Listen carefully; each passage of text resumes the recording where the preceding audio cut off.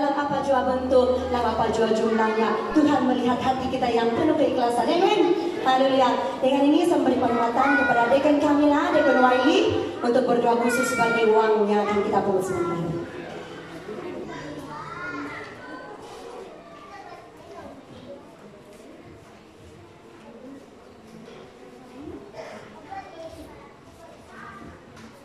Oke, mari kita berdoa.